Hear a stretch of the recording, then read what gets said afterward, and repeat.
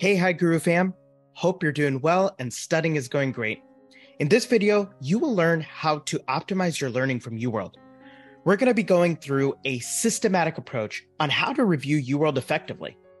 This was something that I personally struggled with throughout my USMLE journey, and I hope that this methodology helps you efficiently get through a UWorld block review.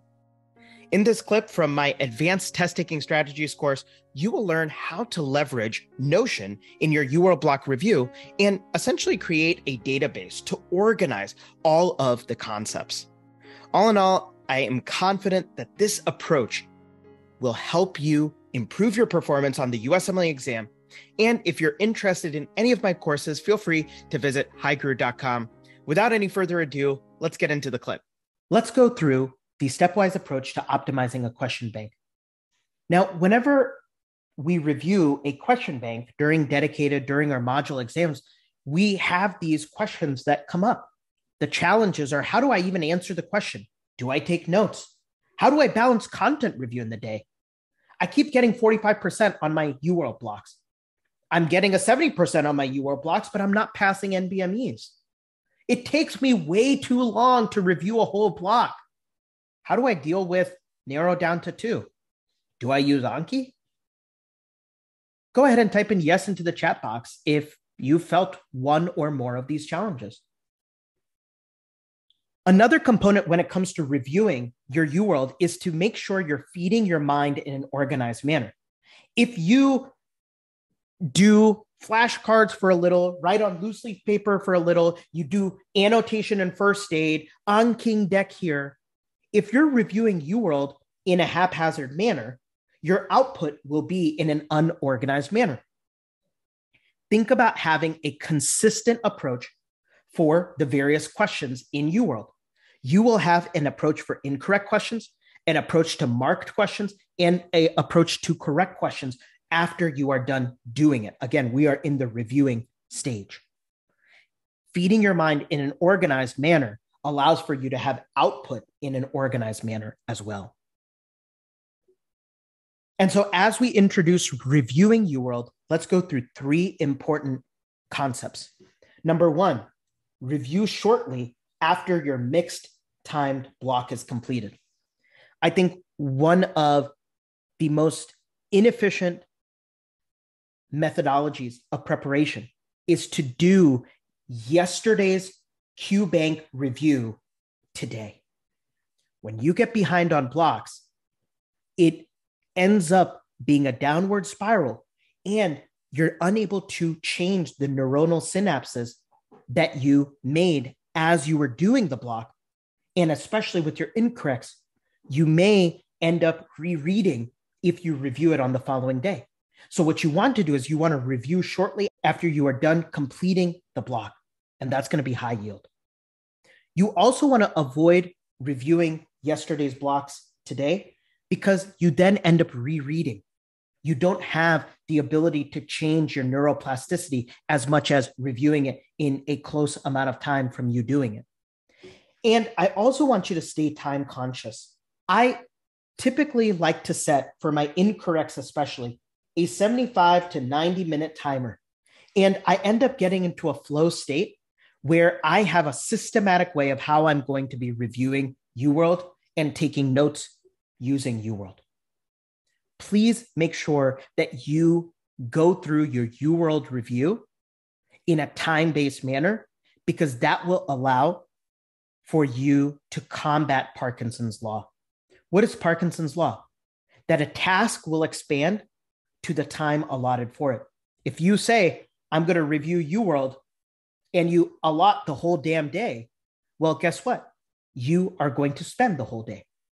But you may have a higher likelihood of completing the block review if you set a time limit. So let's just say you submitted a mixed timed test mode block.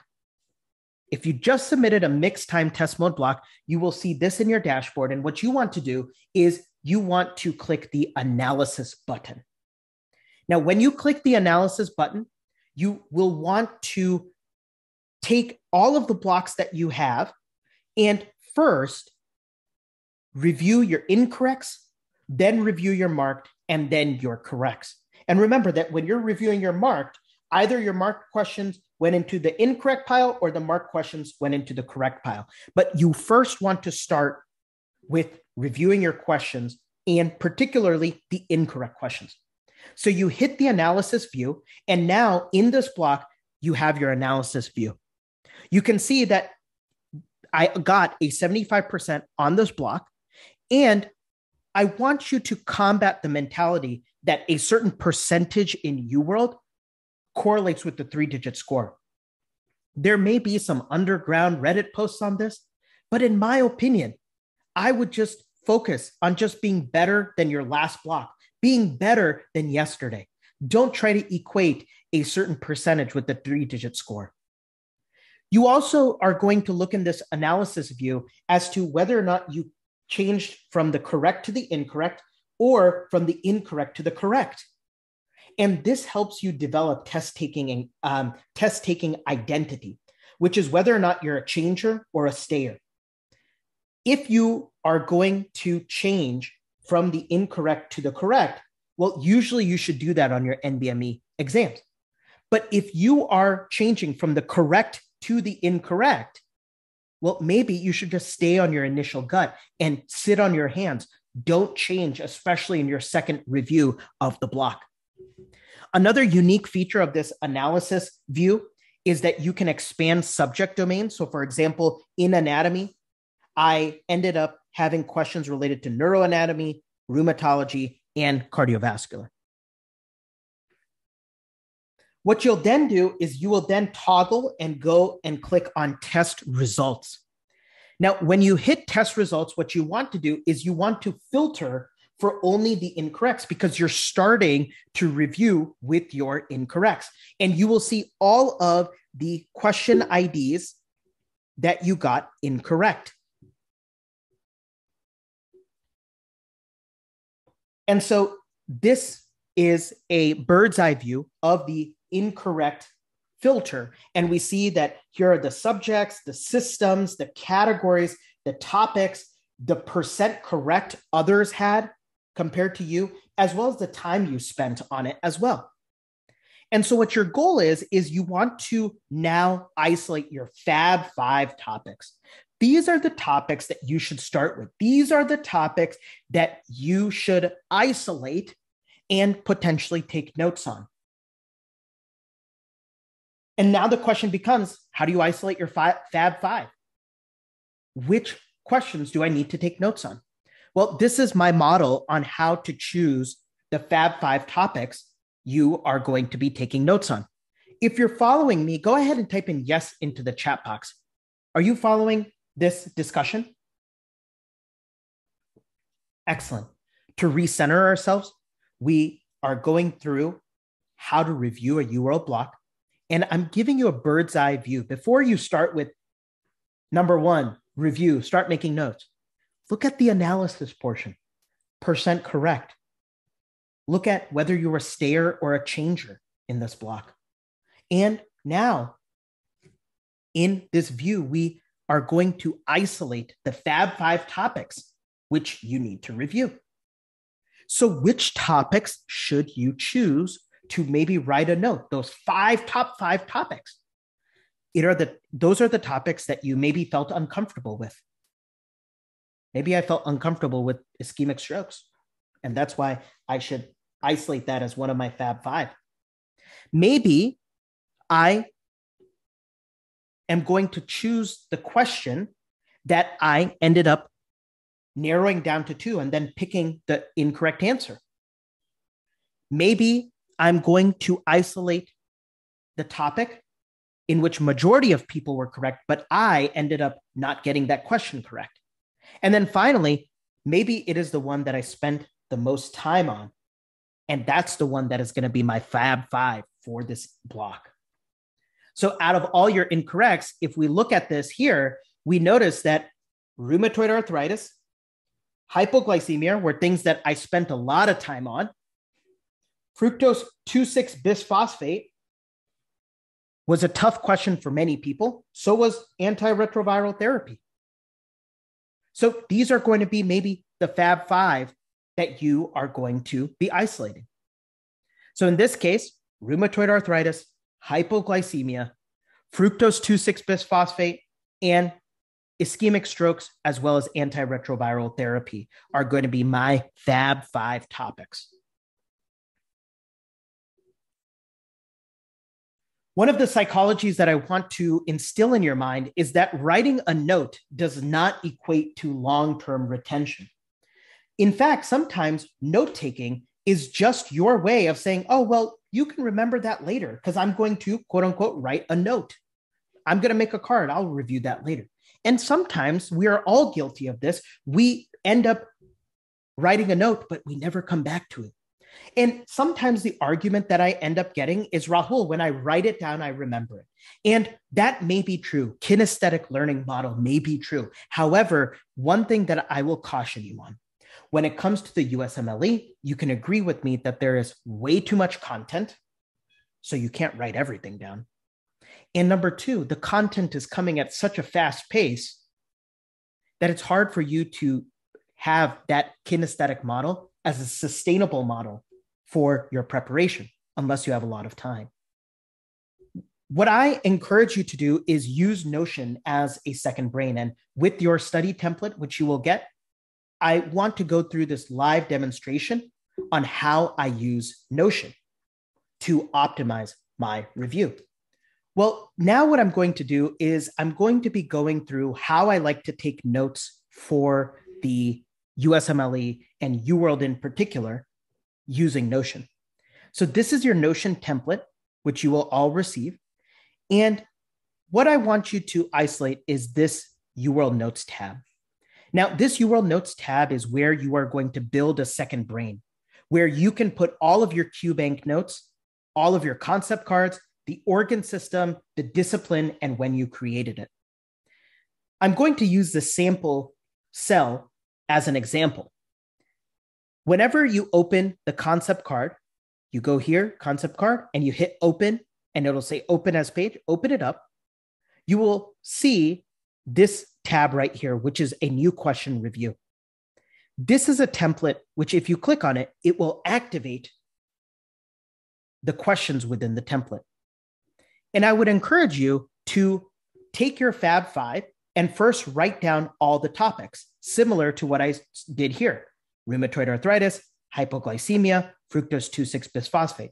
Again, you can write it down. And if you hit new question review, you are able to see the various methodical processes underneath the question itself. So, whenever you are going to see this Fab Five, or whenever you're going to start the Fab Five, one of the things that I would do is tag the organ system that the Fab Five is going to be related to, as well as the discipline, whether it's anatomy, embryo, immunology, biochemistry. And what you will do for the Fab Five is go through the series of these questions. Again, you're trying to feed your mind in an organized way.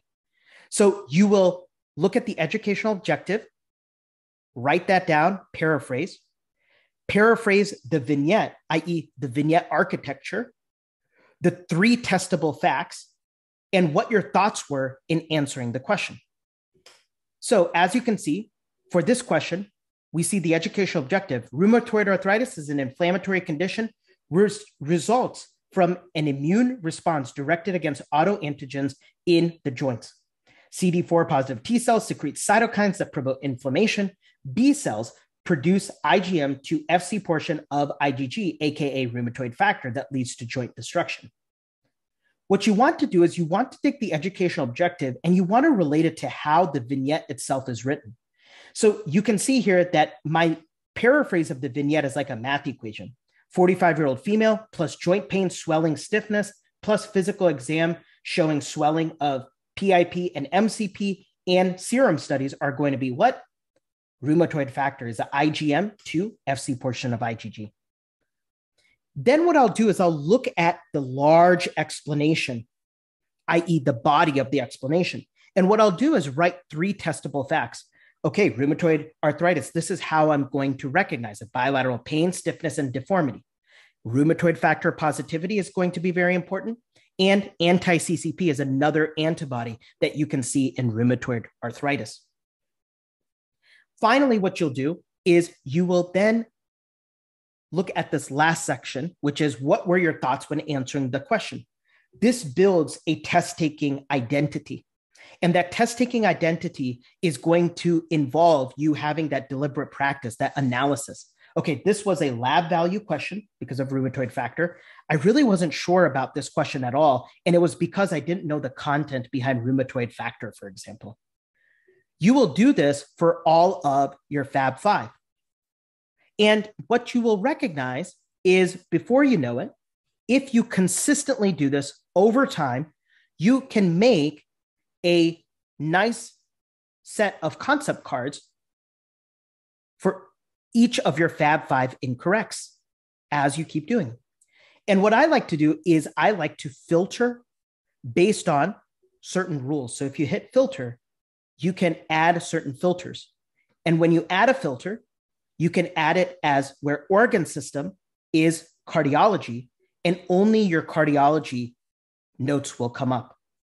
You may want to add another filter where you'll say where discipline is going to be pathology, and only your pathology will show up.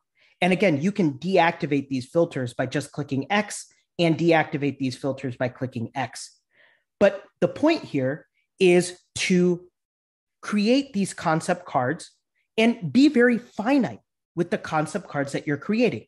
Because the goal here is to not try to capture everything, it's capturing the salient points in a very time efficient manner. I just did a live demonstration, and the key takeaways for the concept card of your Fab Five incorrects are going to be the educational objective, which is the salient learning point, paraphrasing the vignette, thinking like the test maker. How does the educational objective relate to the vignette? What are the three testable details from the explanation? And knowing your identity and developing your identity as a test taker. Why did you get that question wrong? What was your confidence level, etc. And so I do want to emphasize that the educational objective should be related to the vignette architecture. For example, the educational objective here is that a fat embolism should be strongly suspected in a patient with severe long bone and or pelvic fractures who develops acute onset neurological abnormalities, hypoxemia, and a petechial rash. So in that second box, the paraphrase of the vignette, I would put in the salient components that helps me describe the educational objective.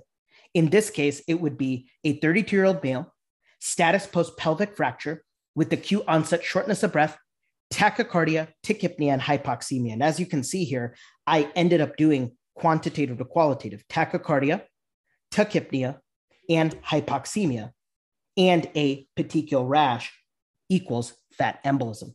And you're getting different components from the HPI, you're getting components from the physical exam, you're also getting components from vital signs, labs, etc.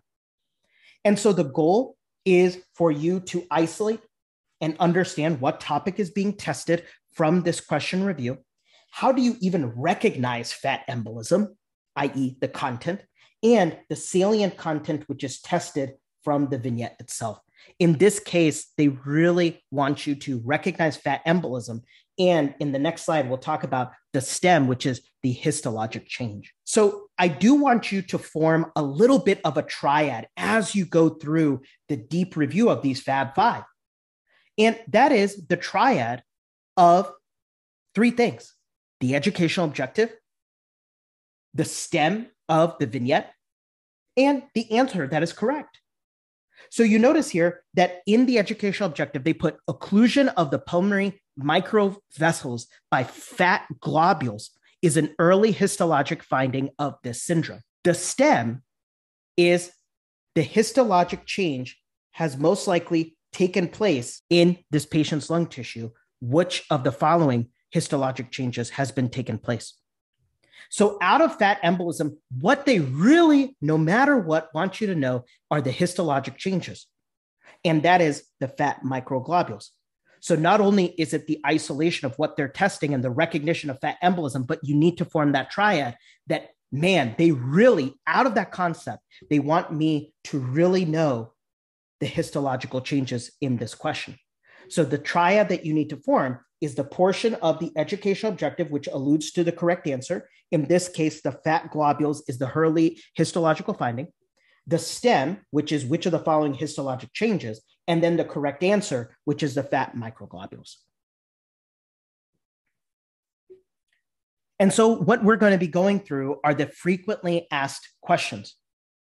Number one, what about the incorrect answer choices? A is wrong because, D is wrong because, B is wrong because. And I would say that have the conviction that you will see that A is wrong because concept in an actual question. Maybe fat embolism, they were just talking about other causes of metabolic acidosis, for example, in answer choice C. Well, you will get metabolic acidosis in another vignette. Don't worry about it too much. The only time that I would review the incorrect answer choice is maybe during your Fab Five, but especially when you were down to two. When you were down to two, you really need to have that effort channeled between the correct answer and what you were down to. The reason why, and the, the kind of mindset that you need to put is that you want to separate concepts. I was thinking that A or D was the right answer, but I couldn't tell the difference, i.e., there was 50 shades of gray. And as I go deeper and deeper into the explanation, into the systematic approach, I now know that A and D are totally different. And that's where I would read D is wrong because. So, what I want you to recognize is that this approach will take practice and you will have that rate of learning increase exponentially if you continue to employ this model step by step. All right, I made my Notion table. When do I even review it now? You can add this as a time based goal in your study day. A time based goal is something like saying, I'm going to spend 30 minutes on reviewing my Notion table from 7 to 7:30.